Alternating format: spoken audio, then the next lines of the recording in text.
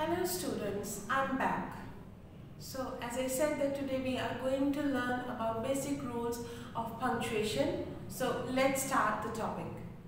For your convenience, I have already written some sentences. So let's start from sentence number one. In first sentence, it's written, I am going to school. So the first thing which is missing, as I said, that is capital letter. Always remember that we cannot start a sentence without capital letter.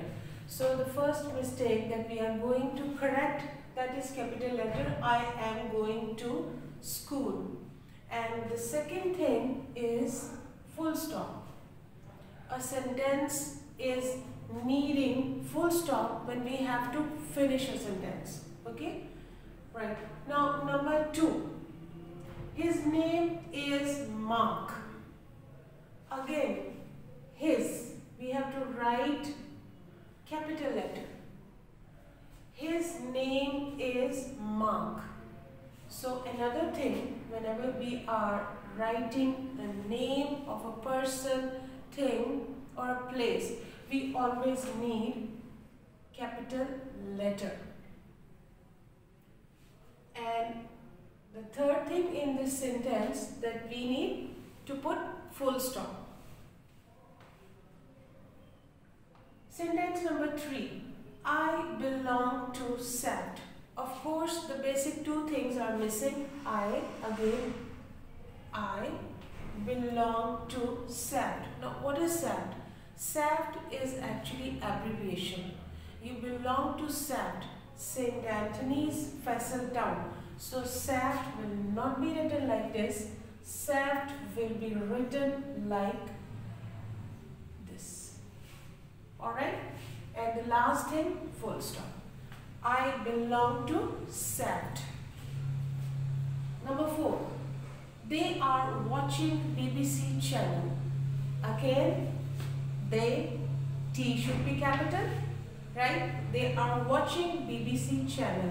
Now what is BBC? BBC actually again like this, it's an abbreviation.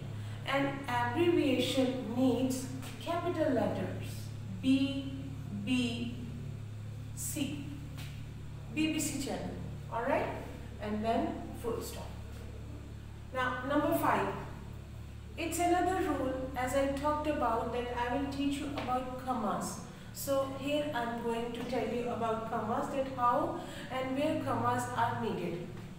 Alright, now sentence number 5. My sister brought eggs, sugar, milk from store. So what I am going to do again, capital letter is missing which I have written here. My sister brought eggs. You have to take pause. So put comma my sister brought eggs, sugar and milk from store. So here we will add and because this is the last thing and milk from store. Full stop.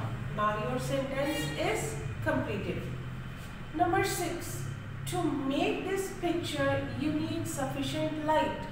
Now there are two things together. So again comma is needed to make this sentence meaningful. Number one, two capital.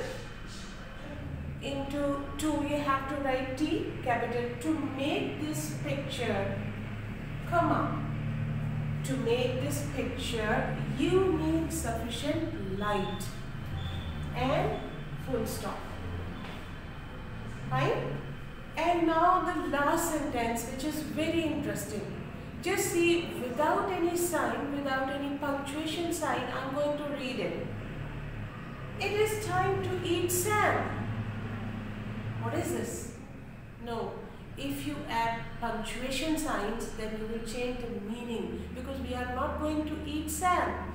The thing is, it is time to eat, comma, Sam. It is time to eat Sam. Right? Now, I'm sure that you learned a lot, especially about these four signs. how these make a writing meaningful. Now, to complete this work or to do more practice, I have prepared a worksheet which I will share with you and afterward you can send back to me, right? So, thank you so much. Now, wait for my worksheet. Hey, I'm back. So, how can you forget the word bite of the day? I know that you have been waiting for this. So, let's start the word bite of the day. Already I have written two words.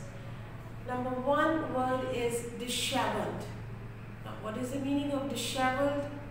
Untidy, or you can say untidy appearance. So, how can we use this word in sentence? Uh, like, please check on the screen. Ronnie is with long disheveled hair. Or second sentence we can say, his clothes are not properly ironed. So he's giving a disheveled look. Number two word is charismatic, which is totally opposite from disheveled. If disheveled means untidy, charismatic means charming or magnetic. So we can use this word in sentences. He is a charismatic person or a leader who leaves impression on public. So these are the two words. Now you have to make two two sentences from each word. And please let me know that when you are done with your work. Thank you so much.